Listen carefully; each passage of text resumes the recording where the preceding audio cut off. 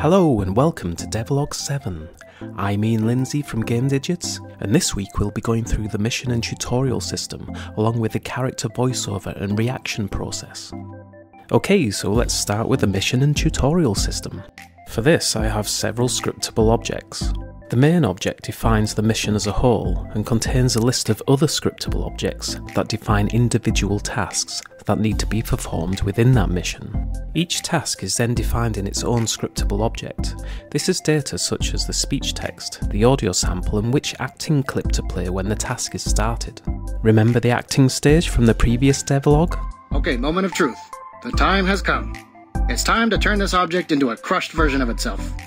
We now need to define what the player needs to do, and these are scripted. A drop down list is used to pick what type of task it is, and also a string to give it some context.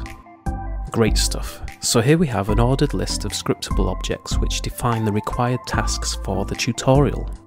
Also, another thing to define are the character interruptibles. Here's an acting clip for when the player invades the puppet's personal space. I can then define these along with the tasks in the main tutorial definition.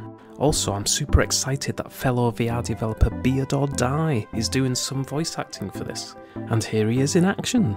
Okay, newbie, let's get you on track here. I've got plans tonight, so I don't want you wasting my time, got it? There's two squeezy type of things on your controller. So, go ahead and squeeze both of those puppies.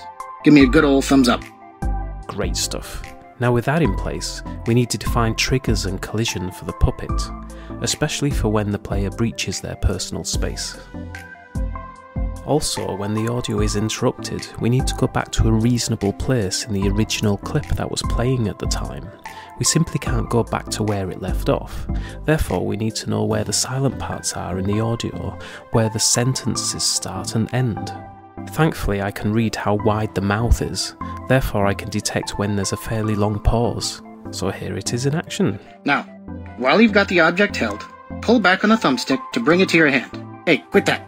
Quit messing around. I'm not into that. This is my personal bubble. You're all up in it. Stay out of my bubble. It's my personal space. Don't be weird. Cut it out. Now, while you've got the object held, pull back on the thumbstick. And here's some more of the tutorial. Open that door by aiming at the handle and holding grip or trigger to swing it open. Grab that cupboard handle. Handle it. Swing it right open. Okay, great stuff. The logic is looking good. However, as you can see, there are just temporary graphics. There's only basic boxes and cylinders, there's not even an environment. So the next step is to create the puppet's office where the training takes place.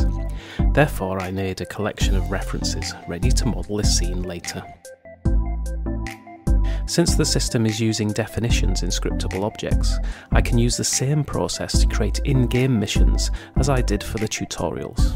Therefore the whole system remains the same and can be built on over time, and any new in-game missions and tasks can be added without having to write a lot of bespoke code.